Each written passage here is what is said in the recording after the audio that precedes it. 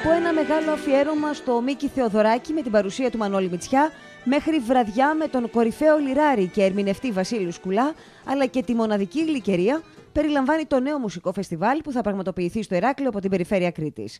Πρόκειται για το Μουσικό Ιούλιο που ξεκινάει τη Δευτέρα 18 Ιουλίου και θα διαρκέσει μέχρι την Κυριακή 24 με εκδηλώσεις που θα είναι δωρεάν για το κοινό στο μικρό κηποθέατρο Ηρακλείου, το κηποθέατρο Μάνος Χατζηδάκης. Ένα φεστιβάλ για την Κρήτη που φιλοδοξούμε να παίξει ένα σημαντικό ρόλο το επόμενο διάστημα.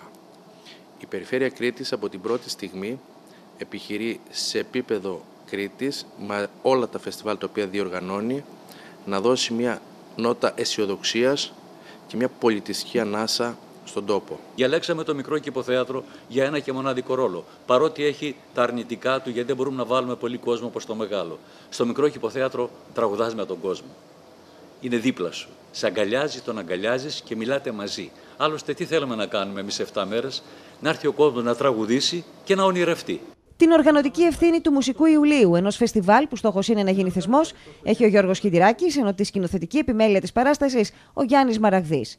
Την ευθύνη της μουσικής διεύθυνσης έχει ο Κωνσταντίνος Παπαδάκης, ενώ από τη σκηνή του κυποθεάτρου Μάνους Χατζηδάκης αναμένεται να περάσουν μεγάλα ονόματα της μουσικής που θα έχουν στο πλευρό τους νέους καλλιτέχνες. Να παντρέψουμε καθιερωμένους καλλιτέχνες ε, που έχουν κάνει τη μεγάλη καριέρα στην Ελλάδα με νέα παιδιά από την Κρήτη και να δώσουμε το δικαίωμα να εμφανιστούν και να καθιερωθούν ακόμα και σε Κρήτες καλλιτέχνες.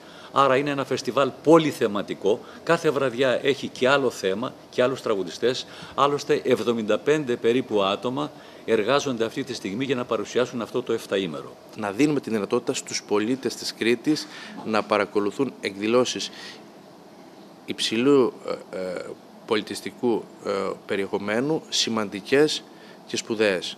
Και πάντοτε στη λογική να μην επιβαρύνουμε τον ε, οικογενειακό τους προϋπολογισμό. Όλες οι εκδηλώσεις στην περιφέρεια και του φεστιβάλ αυτού, αλλά και όλες οι οποίες προγραμματίζει σε επίπεδο Κρήτης, η περιφέρεια πάντοτε θα είναι με ελεύθερη είσοδο σε μια προσπάθεια να δώσουμε στους πολίτες σε αυτή τη δύσκολη στιγμή την δυνατότητα να έρθουν κοντά ε, με τις τέχνες και τον πολιτισμό.